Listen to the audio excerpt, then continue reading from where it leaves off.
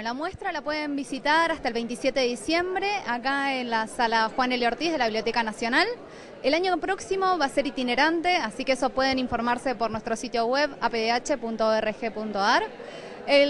La muestra en realidad es el resultado de un concurso nacional de afiches que se hizo desde julio de este año hasta septiembre con un jurado muy importante, con Noé Gitric, Esteban Rico, Juan Carlos Romero, María del Valle Ledesma y Carolina Golder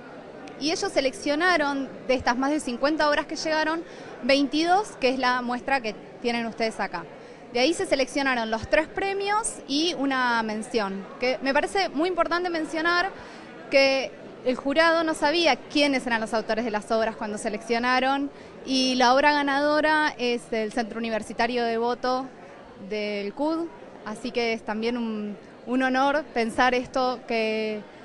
de la cárcel también puede salir arte, ¿no? que me parece que es fundamental. Con la sensación de que en estos 30 años hemos recuperado no solamente la institucionalidad, sino también los sueños y, que en definitiva, bueno,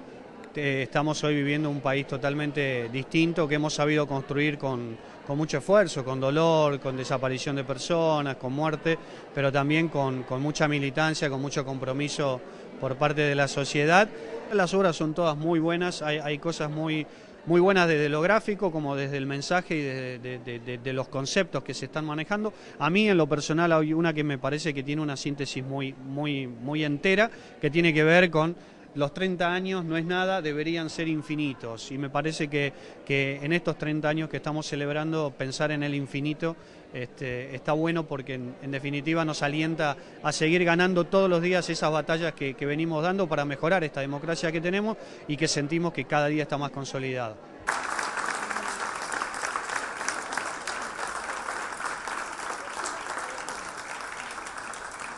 La obra es una composición de distintas figuras, eh, algunos textos y bueno, la idea es expresar básicamente también lo que sucede dentro de las cárceles y a través de figuras después se hace todo un esquemas y se unifica todo ese dibujo. Y bueno, no teníamos ni idea que podíamos llegar a esto, lo, lo hacíamos como una tarea, digamos,